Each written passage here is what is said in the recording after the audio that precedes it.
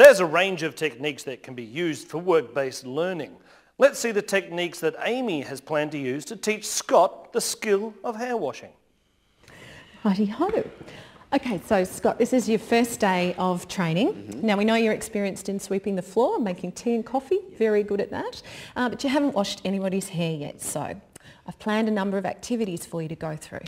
Great. Well, I'm keen to get started. Excellent. Okay. Well, now this morning, what I'll get you to do is spend an hour with one of our experienced hairdressers while they wash somebody's hair. Ah. Okay. And they'll explain what they're doing, but they'll do it quietly so that we don't annoy the customer.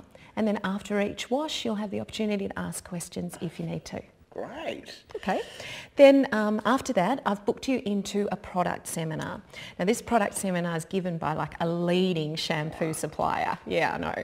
So uh, they'll explain some uh, washing techniques. They'll also talk about some of the benefits of the product. Good. Yeah. And then tomorrow, yeah. you can do a wash yourself and I'll supervise. Okay. And then afterwards we can kind of cover off any questions yeah. that you might have, go over what you've learned. Well, sounds like a plan. Okay, great. Well, let's get in your first customer yeah, so that you can watch. Okay. Okay. What can you do with this? Ah, uh, yeah. I think we're going to need a contingency plan. Wait. Well, it's lovely hair, just not lots of it. Watch it, We've got somebody else.